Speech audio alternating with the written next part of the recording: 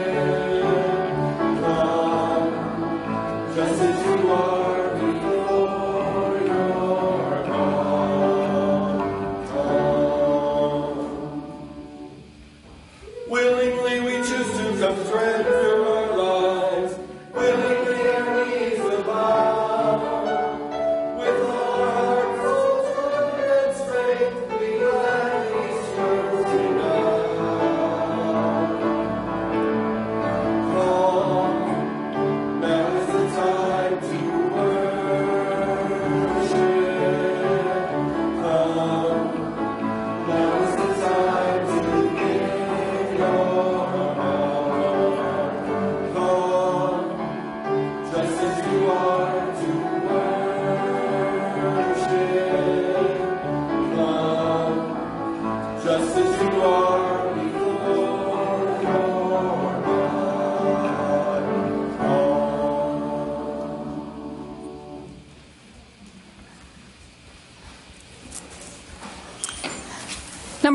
68 is our hymn of the month.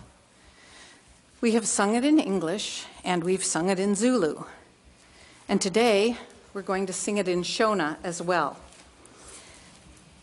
When we sing in languages other than our own, we're recognizing our kinship with Christians all over the world. We do our best to pronounce these languages well, but we will make mistakes, and that's okay.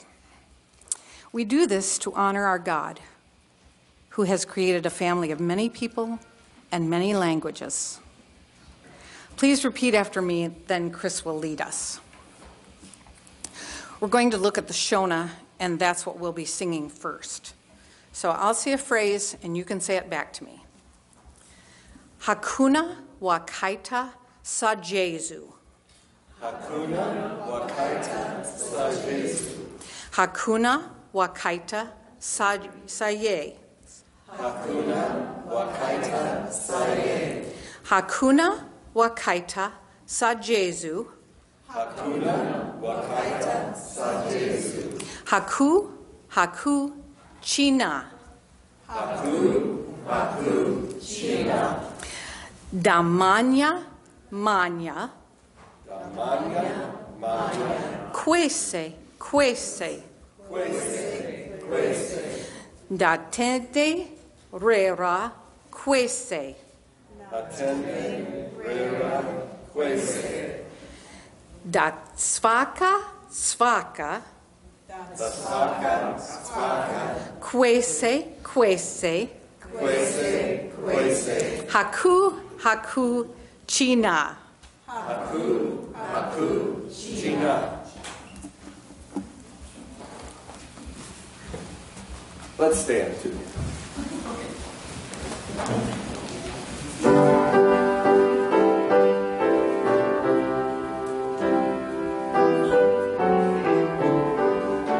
Hakuna. Hakuna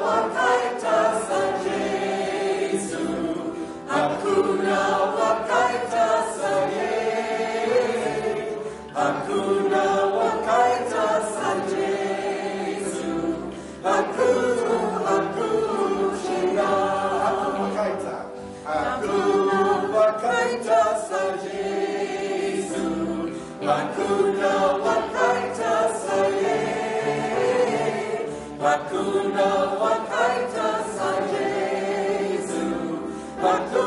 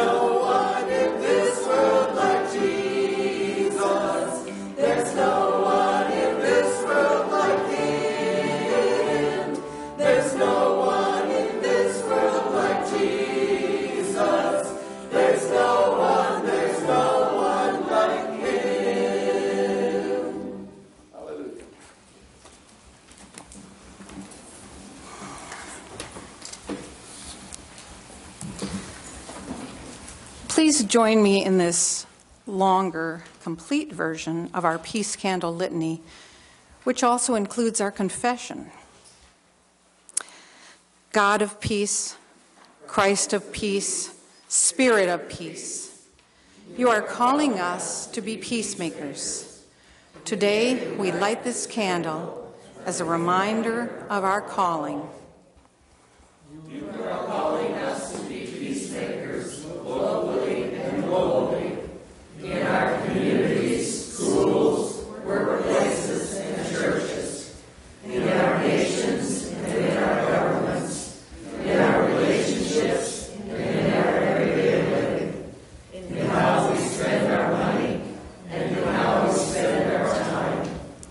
We rejoice that we are not alone in our calling to make peace.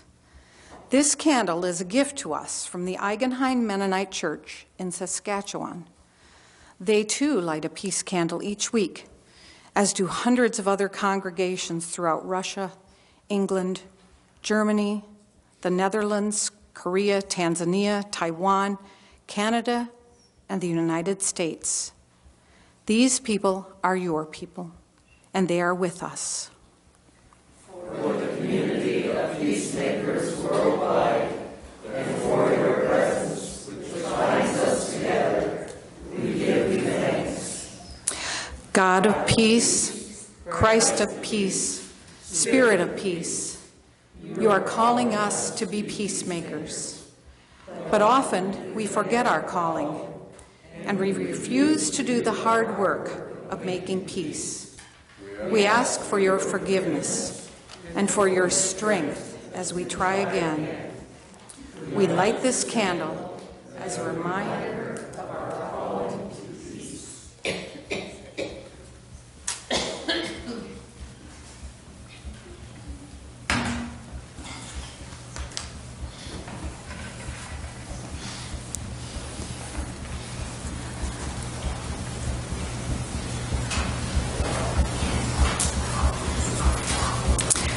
May the passion for peace burn in our hearts. May the light of your justice shine forth in our actions, and may our footsteps in the world leave prints of mercy, grace, and love. God of peace, Christ of peace, Spirit of peace, you are calling us to be peacemakers. To your calling, we say yes. And now, would the children come forward? Greg will be sharing a special story that Beth chose for you.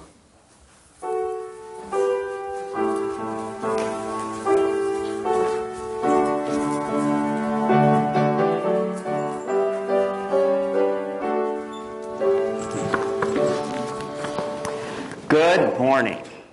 What Beth would want me to tell you, because her name is in the bulletin, is that really she's feeling quite fine, but out of an abundance of caution, she's not here with us this morning because she had been sick. But I think she's better. Okay, this morning, I want to read you a story. And after it's done, we can talk about it, okay? But I'm going to say a couple things. But I'm going to explain a couple things that'll help you understand the story better. And some of you may know this, but just in case you don't. Hens are female chickens that lay eggs, and they make a sound that goes kind of like cluck, cluck, cluck, cluck. The roosters are male chickens, and when they crow, it sounds like cock-a-doodle-doo. That's right. Roosters are usually bigger than the hens, and they help to protect them. Owls are also in the bird family, but they look and act different than chickens. They crow. Uh, uh, no, because they can fly high, they live in the forest, and they make a sound like, do you know what else? Whoo, ooh.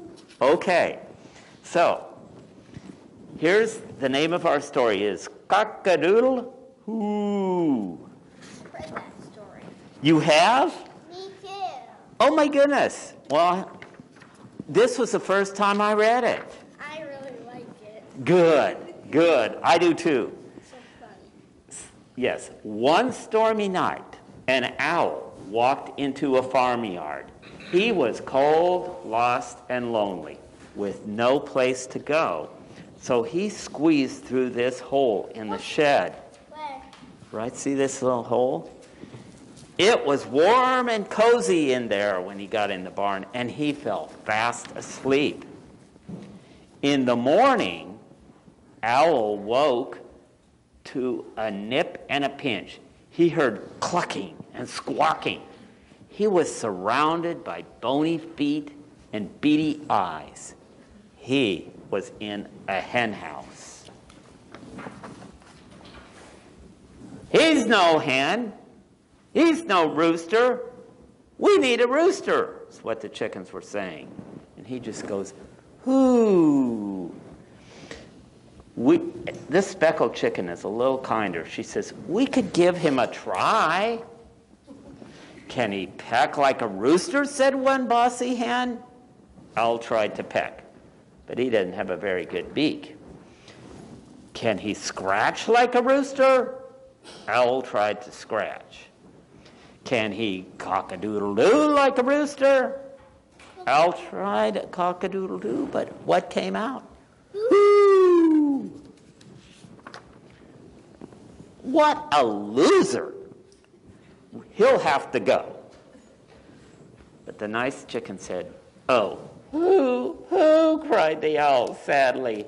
He liked the warm and cozy hen house in the yard, dappled with spring sunshine. The speckled hen, the kind of kinder one, put her bony wings around him. I'll teach you how to be a rooster, she clucked. And she did. Owl learned how to march up and down, guard the hen house, and puff out his feathers. He was doing very well.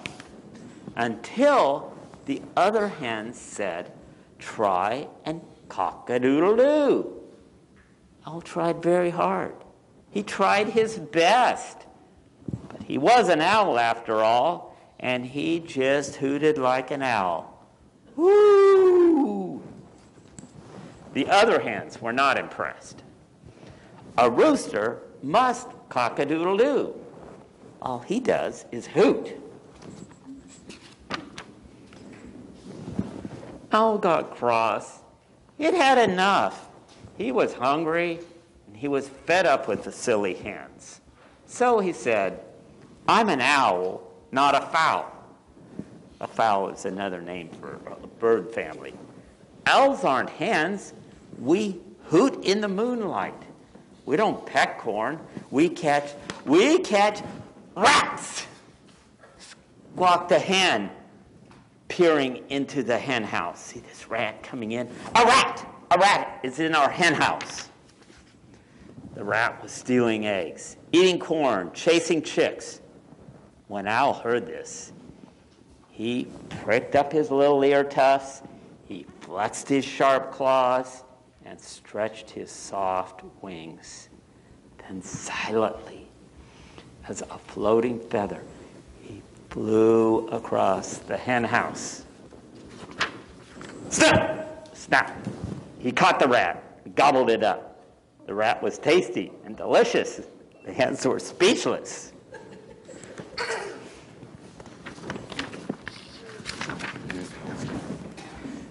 And, and Al puffed out his chest with a swagger and shouted, Cock-a-doodle-hoo! Our very own special rooster. Our hero, Our rat-catching owl. And see, now he's part of the farm family. But look, the farmer, he looks really, really surprised.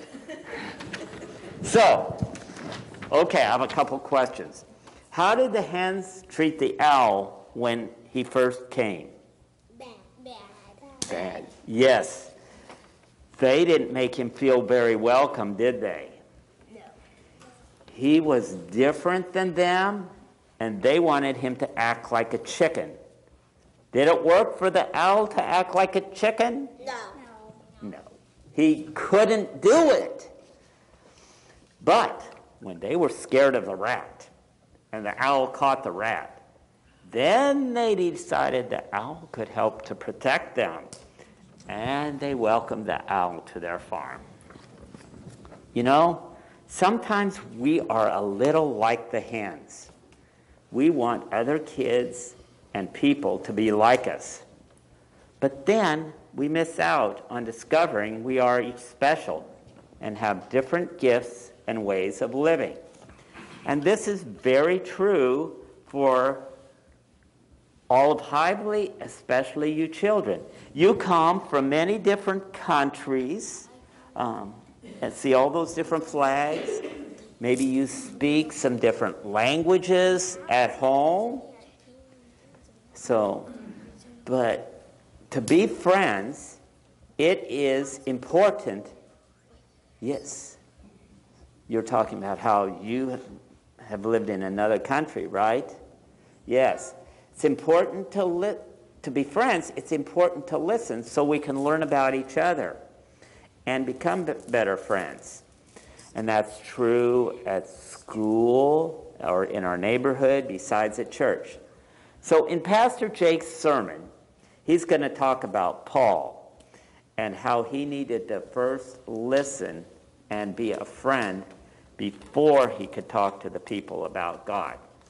So, let's pray. Thank you that each of us is special, dear God.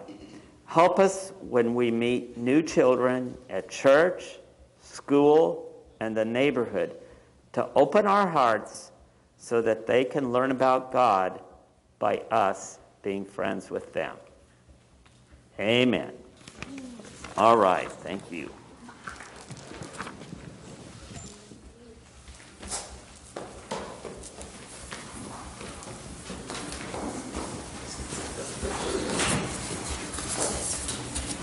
Thank you, Greg. I'll be reading Acts 17, 16 through 31 from the New International Version, and Juan will be reading the Spanish. While Paul was waiting for them in Athens, he was greatly distressed to see that the city was full of idols. So he reasoned in the synagogue with both Jews and God fearing Greeks, as well as in the marketplace, day by day with those who happened to be there.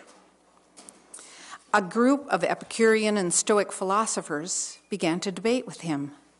Some of them asked, What is this babbler trying to say?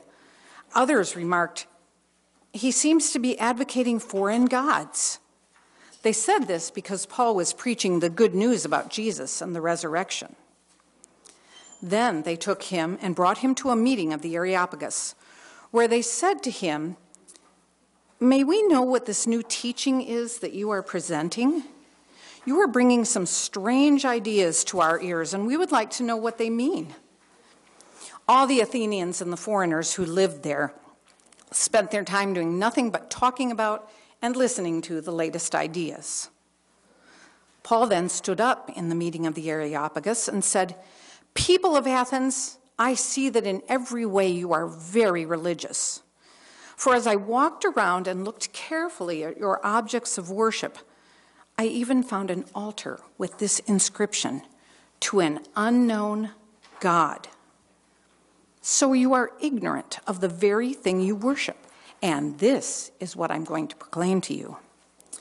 The God who made the world and everything in it is the Lord of heaven and earth and does not live in temples built by human hands. And he is not served by human hands as if he needed anything. Rather, he himself gives life and breath and everything else. From one man he made all the nations, that they should inhabit the whole earth, and he marked out their appointed times in history and the boundaries of their lands. God did this so that they would seek him and perhaps reach out for him and find him, though he's not far from any one of us. For in him we live and move and have our being. As some of your own poets have said, we are his offspring. Therefore, since we are God's offspring, we should not think that the divine being is like gold or silver or stone, an image made by human design and skill. In the past, God overlooked such ignorance, but now he commands all people everywhere to repent. For he has set a day when he will judge the world with justice by the man he has appointed. He has given proof of this to everyone by raising him from the dead.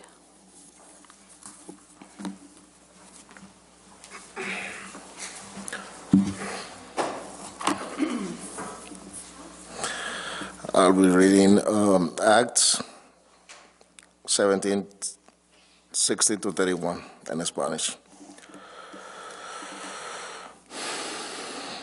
Mientras Pablo los esperaba en Atenas, le dolió en el alma ver a la ciudad estaba llena de ídolos. Así que, dis- que discutía en, el, en la sinagoga con los demás judíos y con los griegos que adoraban a Dios. Y a diario hablaba en la plaza con los que se encontraban como por allá. Algunos filósofos epicureos y históricos entablaron conversación con él.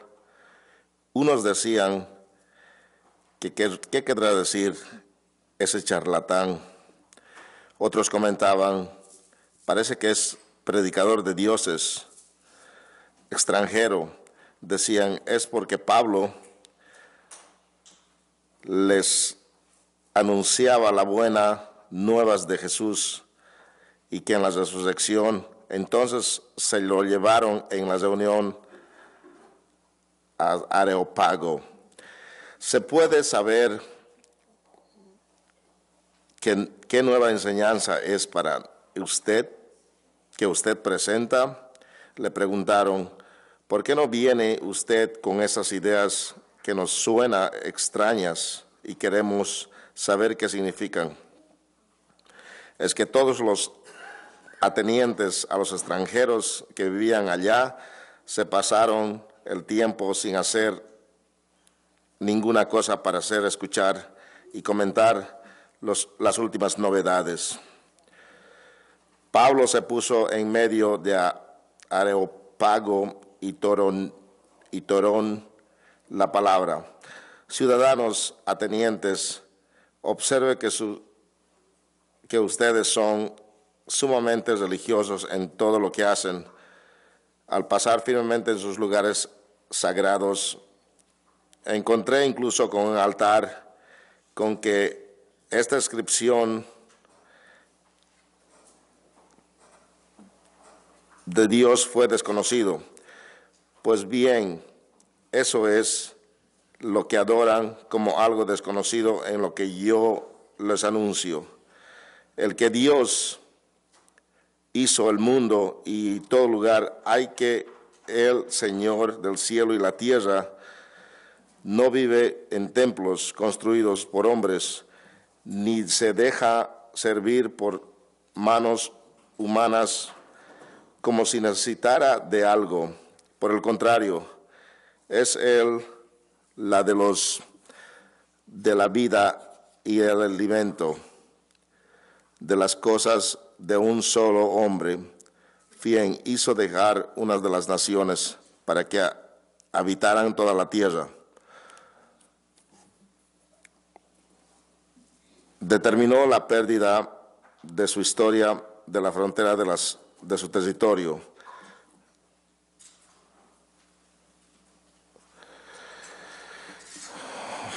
Por tanto, siendo descendiente de Dios, no debemos pensar que la divinidad sea como el oro, la plata, la piedra, escultura hecha por resultados del ingeniero de la destreza del ser humano. Y por lo tanto, pues Dios pasó por aquello que, aquellos tiempos de tal ignorancia, por ahora mando a todos toda parte que no se arrepienten. Él ha fijado por medio del hombre, me ha imaginado de ellos una prueba a todos, levantando entre los muertos.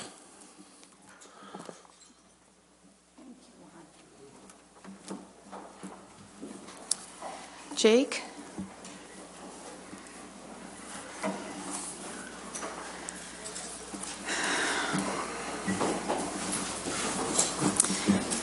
Dear God, you sent Paul to the Athenians to share his knowledge of you. We're grateful for Jake, who will share with us. Bless us and him through the message he brings. Thanks, Trish.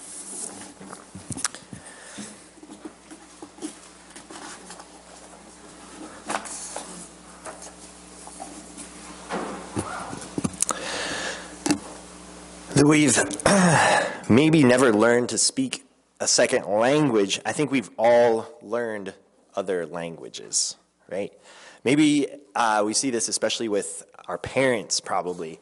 Uh, for me, it was growing up uh, loving basketball.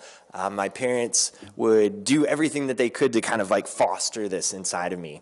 Um, they would take me to basketball games. One, one spring break, we went down to New Mexico so we could watch the regional semifinals of the national uh, tournament. So I got to go down, and they have this cool pit in New Mexico. It's called the Pit, where we watched Purdue and Wisconsin and Louisiana play and they would come to all my games. My mom would wear this like little button that she had made with my picture on it, which was probably pretty embarrassing at the time, but also maybe liked it a little bit that my mom was there.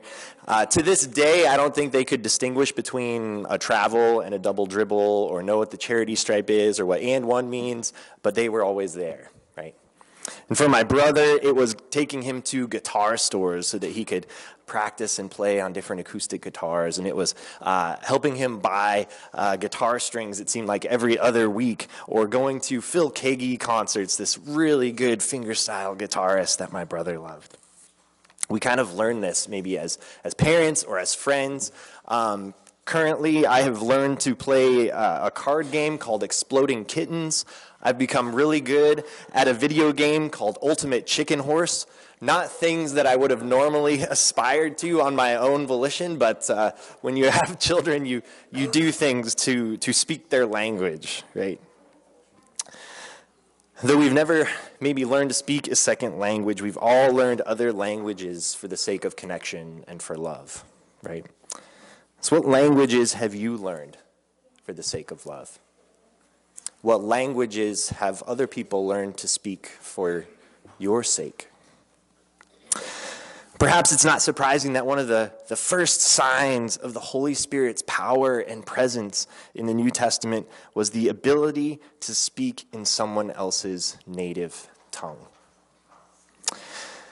Two weeks ago, we got to see or learn about a blinded man who regained his sight.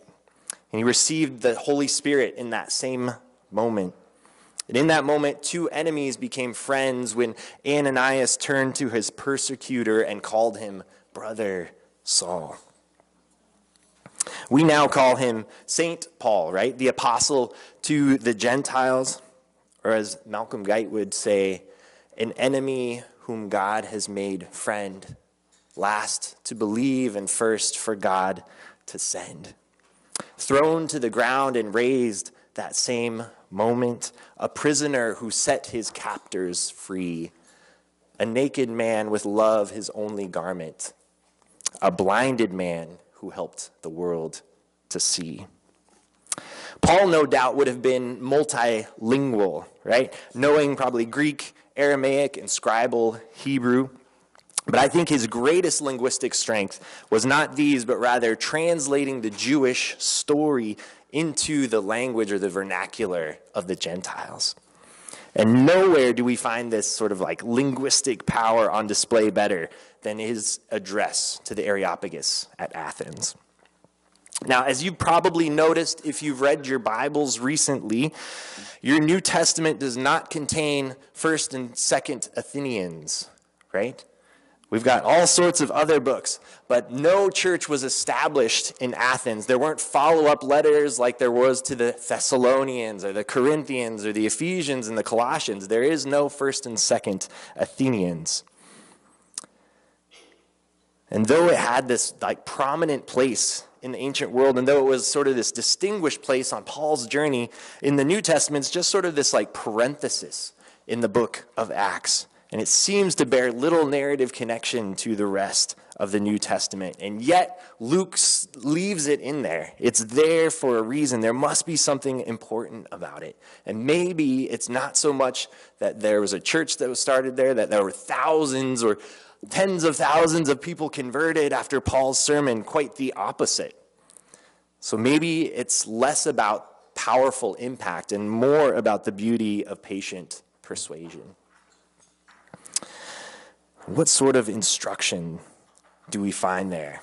Well, let's unpack it a little bit, and for our context too. So, Athens for Paul was kind of a, a forced detour. How many of you love coming across those orange and black signs when you're driving that have a little arrow and they say detour on it? Right? Carol's shaking her head. She's like, no. If you're going to work or even if you're on vacation, if you see that, and you, especially if you don't know where you are and how to get back on the right track, that is a very unnerving sign. Even with our modern GPSs, right? Have you all ever heard the when you have to take a detour, proceed to the route, proceed to the route? Like, I want to proceed to the route. I don't know where it is. Shush. Um, we can all, I think, resonate with that. So, Paul is only in Athens because he's on a detour. He had to flee from Thessalonica, then he had to flee from Berea. They, they took him here to Athens kind of as, as this emergency escape route for Paul. And he's waiting there for his buddies Timothy and Silas, who had stayed back in Berea, and Paul just gets dropped off in Athens alone. And so our passage starts off with this really interesting phrase where it just says, while Paul was waiting for them. While Paul was waiting for them. What if we took your name and inserted it for Paul's name there?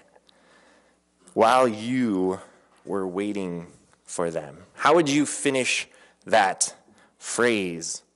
Uh, if you're like me, sitting around waiting is probably not on your favorite hobbies list, right? Probably right up there, maybe with taking detours. These aren't the types of things that we like to do, especially nowadays. I feel like our culture is not accustomed to waiting. We want to be constantly entertained, constantly distracted, constantly consuming. Amazon delivers faster and faster. They can like bring you stuff in a day now if you have certain forms of Amazon Prime. Uh, new music is always at your fingertips. You can just download it through the air. Uh, some of you may remember when we were younger how you had to come across music, right? If you wanted to find new music or you heard new music, you had to listen to the radio. And if you missed the name or the, of the song on the radio, you had to sit down and just wait around until it came on again. And, and you wait for it and wait for it. And you're just like, please say the name, please say the name after the song. And finally, you hear the name of the song. And then you have to maybe drive, you know, 45 minutes like I did to a CD store, a music store, and figure out what genre it was. Was this alternative? Was it rock? And then you rifle through the sections. And finally, maybe you come across the CD that you were looking for. Like that was our that was our process. Now you just download it out of the air. Unbelievable. Different times, but we're not accustomed to waiting. How are you at waiting? Do you like waiting for things? What would you do in Paul's shoes? How did Paul sit and wait? It said, while Paul was waiting for them, he walked around the city and his spirit was provoked or stirred. It's kind of like a, a mixing, was stirred within him because the city was full of idols. So for Paul, the very first thing he did when he was waiting was that he spent time watching, he spent time observing. He spent time seeking to understand his context, or in another way of phrasing it, Paul spent his time listening. Listening. Now, if this passage is at all, I think, exemplary for us, this is Luke's first message and primary message to us. When life gives you detours and you're forced to wait, watch, and observe and listen. Perhaps God is seeking to stir your spirit within you. Through the detour and through the waiting. And so maybe put down your phone for a while or your entertainments or your distractions and just listen for a bit. Now, clearly, Paul doesn't stay just in listening mode. We know he goes on to engage. His spirit is stirred, and so he engages. But it's interesting that the posture of listening, even in his engagement, goes on to shape how he interacts in Athens. So ultimately, Paul's heart is stirred because he sees the hearts of the Athenians being stirred. They're searching, they're looking for something. There's two things we need to know about Athens. The first is that Athens is to sort of like the Greek religious practices, the Greek pantheon. Athens is to that what Vatican City is to Catholicism. It's the, the center of it all. It's the, the hub of it all. There was this, this old uh, satirical writer named Petronius who said this about Athens. Maybe a bit of an overstatement, but this is what he said. He said, It's easier to find a god than a man in Athens. That's how, that's how prolific the temples and the gods were in the city. It's easier to find a god than a man in Athens. Perhaps in our context, we could say it's easier to find a product than a person in the West, right? Something similar to, to what we struggle with here. So that's the first thing. Athens is to Greek religious practice what the Vatican is to Catholicism. The second is this Athens is to philosophy, the love of wisdom this learning of knowledge. Athens is to philosophy what Nashville is to music, right? This, this, this is the place where it happens. This is, this is the home of Socrates and Plato and Aristotle, just a few minor philosophers in history, right? This is, this is a central location for philosophy and the love of wisdom. It said in our passage, maybe you caught it, Luke puts in this little parenthetical phrase they spent their time doing nothing other than just talking about the latest stuff, the newest ideas, that this is what they loved to do. So in Athens, the Athenians were religiously fervent. You could barely find more people than gods in Athens. Religiously fervent and intellectually hungry. They were a people who were seeking, a people who were searching, a people who were longing, and Paul was moved by their longing. Paul's spirit was stirred by their spirit's stirrings. How about you? Are you stirred by the stirrings of others? What do you see in their efforts and in their idols? What do you see in their addictions and in their insecurities? Do you see these things as a grasping after God? Simone Weil, the famous French philosopher, wrote One has only the choice between God and idolatry. She says there's no other option before us because the faculty of worship is in us. And so that worship will either be directed into this world or into another world. We only have the choice between God and idolatry. St. Augustine famously put it this way Our hearts are restless until they find their rest in God. This truth, or something inherent in these quotes, this truth, moved Paul. And so he listened and he observed and then he spoke and he persuaded.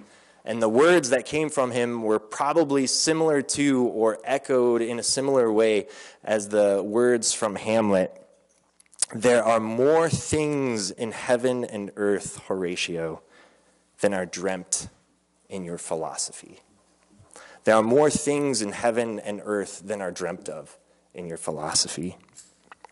And so Paul connects their stirrings with the grand stirrer of things. The Creator, he says, put signposts in creation, these borders and boundaries and limits.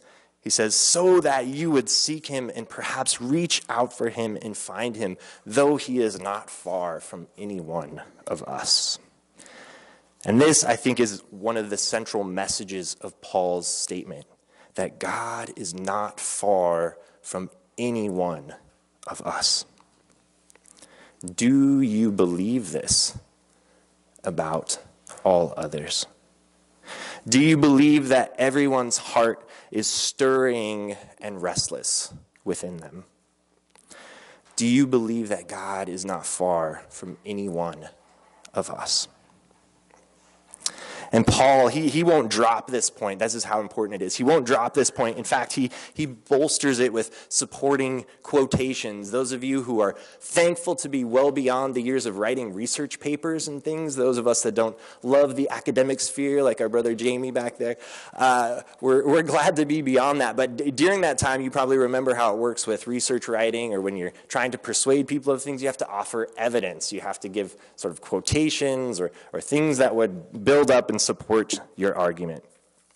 And this is how Paul does it. Though, though he's obviously speaking this richly Jewish message, he never quotes the Hebrew scriptures at all because he's not speaking to a Jewish audience. So instead, he quotes Greek poets and Stoic philosophers, right? The kinds of people that they would know, the kinds of people that they would have heard of. And he says things like, We are God's offspring, and in him we live and move and have our being. Very Jewish, but very contextualized within a, Greek philosophical context. Paul's been listening, right? Paul's been observing. He's noting where God has been drawing near. How about you? Could you quote someone else's songs and poems? Have you listened well enough? Have you seen God already at work stirring in other people's hearts? And could you point to those places where God is clearly stirring? Or most importantly, could you take the vague outline of the unknown God and color it in richly with the contours of Jesus? Can you take the vague outline of the unknown God and color it in with the beautiful contours of Jesus?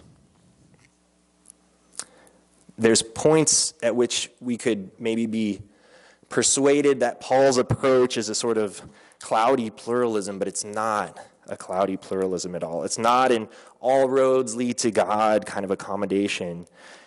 It's a recognition that everyone is on a road and that everyone is traveling and everyone is searching and everyone is grasping. But the only road that leads us home, says Paul, is the road that leads us to Jesus. George MacDonald said this Jesus Christ is the way out and the way in from every slavery, conscious or unconscious, into liberty. He is the journey from the unhomeliness of things to the home that we desire but do not know. There once was a man named Paul, an apostle to the Gentile who knew this truth really well. He was an enemy whom God had made friend, last to believe, and first for God to send a Jew who was made perfect in the law, but came to bless the flesh of every other race. And he helped them to see what the apostles saw the glory of the Lord in Jesus' face. So may you, like Paul, have the ears to hear and the words to speak, to guide those restless hearts home to rest in Jesus. May you be able to hear and embrace these words from Isaiah for you and to make them perhaps your, your morning mantra as you go out into the world. These are the world, words spoken of the suffering servant who would come, but I think these are words that, like Paul, we can take upon ourselves. It says this The sovereign Lord has given you a well instructed tongue to know the word that sustains the weary. He wakens you morning by morning wakens your ear like one being instructed. The sovereign Lord has opened your ears. The sovereign Lord has given you a well instructed tongue to know the words that sustain the weary. He wakens you morning by morning as one being instructed. The sovereign Lord has opened your ears. May it be so. Amen.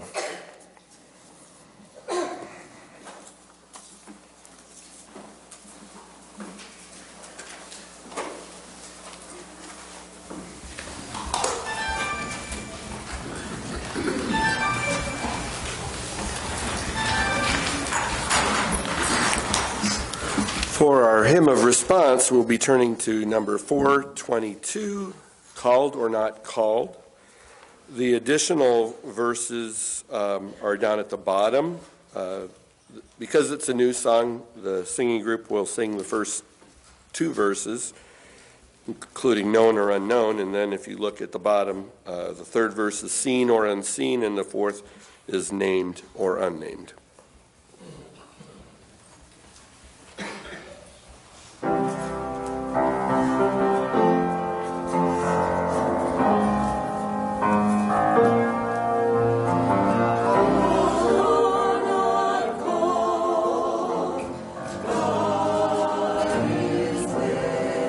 What